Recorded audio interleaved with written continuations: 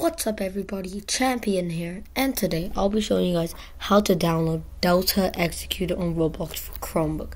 As you can see, I'm on Chrome OS, which will make this is a bit challenging to do, but it's pretty easy, just hear me out.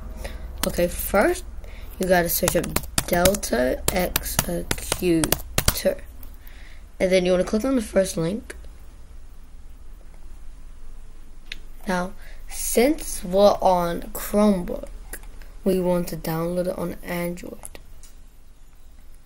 There's a lot of pop-ups, so all you gotta do is close them. They're pretty easy to close. Just gotta press a button. Okay, now scroll down, scroll down, scroll down, scroll down, scroll down, scroll down, scroll down, till you click download, and then you wanna click on free download. Now, right here, you're gonna get um, you're gonna get an ad I got a Roblox ad, and you can't skip it until 30 seconds. So you just gotta wait 30 seconds until this is over.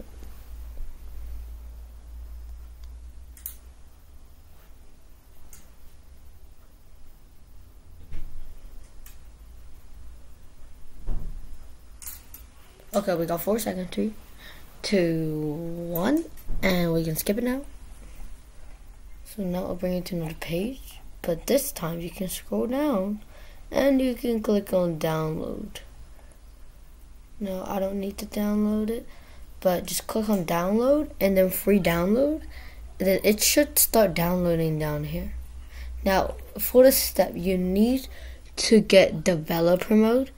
Now, if you don't know how to get developer mode, there's there will be a link down in the description or you can just search up a video on how to get uh, how to download APK files without and without uh, developer mode.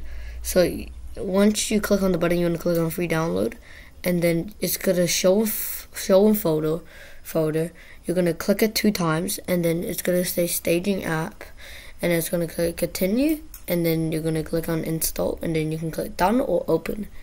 So it's just really simple to download, and I'll see you guys in the next video. Bye.